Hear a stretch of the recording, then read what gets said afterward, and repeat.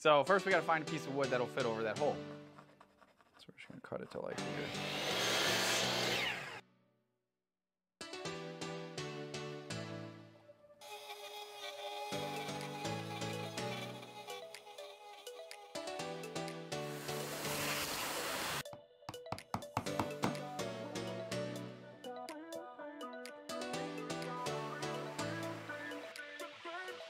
So see how it doesn't fit perfect right now.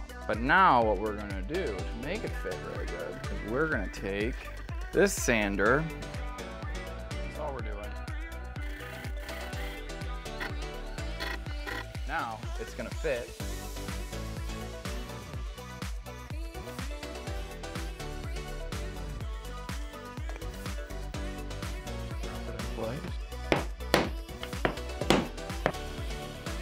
I'm pretty happy with that, dude. That looks good.